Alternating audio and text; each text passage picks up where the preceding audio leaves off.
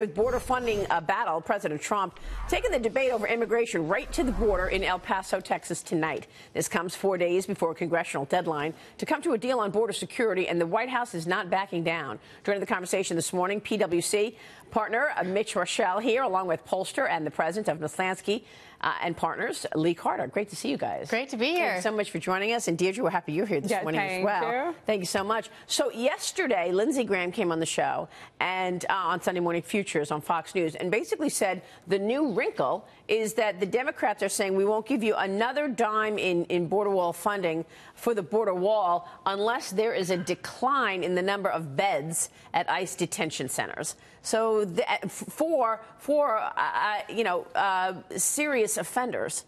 What are your thoughts? I'm wondering if this is a backdoor way of trying to de escalate or, or, decommission ICE to some degree because ICE has become very politicized amongst some of the new Democrats. And I'm just wondering if that's the end game here because it just doesn't make sense on the surface if it makes um, more potentially violent criminals out on the street. Right. I mean, so vi- violent would, criminals. And, so why would you do it unless there's sort of an end game to it? Well, I think there's also something um, symbolic about it, and and to me, the Democrats are really trying to make this all about um, a humanitarian issue, saying that we've got to be kind to people, we've got to be more generous to folks.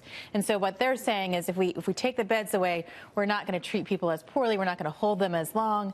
And I think that's what they're trying to say is, if we do this wall, we're going to do it in a humanitarian way. I'm not sure that this is a smart strategy or not not, but I think that's what they're trying to do. There is so much, I would say, just political right, maneuvering with this. I mean, and we know that Democrats have even backed a wall, but just not being called a wall, right? And we got into this whole are they really metal slats? Right. Is it a wall? And I actually thought there was progress being made, nothing against our fine president, but then he tweeted out a wall is a wall, I'm going to call it a wall. And I was like, no, because we were so close. So I think it's really about the messaging. I, I, am assuming behind the walls and behind the doors, people are figuring it out. And I know you've done dials. I want to talk about that, but because former Democratic Congressman, 2020 presidential candidate Beto O'Rourke is also going to be in El, uh, El Paso, Texas tonight. He's doing a dueling rally against the president. O'Rourke tweeted this We need everyone to join us tomorrow evening in El Paso as we celebrate our community. The country will be watching, and it falls on all of us to tell the true story about the border. You know, I feel like after the State of the Union, Lee, the tone changed a bit. You even had Nancy Pelosi saying, well, I'm going to, you know, take the advice of the committee chair what did you see as a result of the State of the Union? You did dials on the State of the no, Union. The State of the Union, the president, that was one of his finest moments.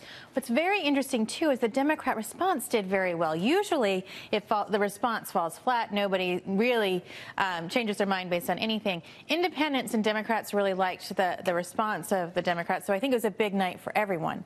Now, going into this, seeing how Beto O'Rourke is handling this, it's a different way of handling the president, right? Because we've, we've seen a lot of people try to, you know, meet him where he is. They try to take him down, act more like the president.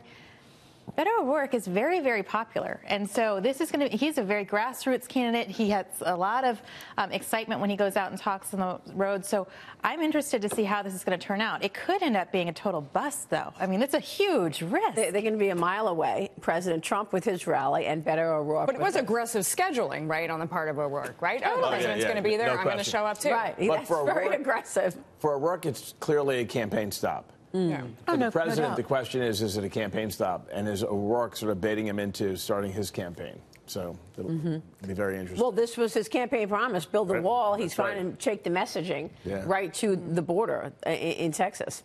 All right, we'll, we'll keep watching this.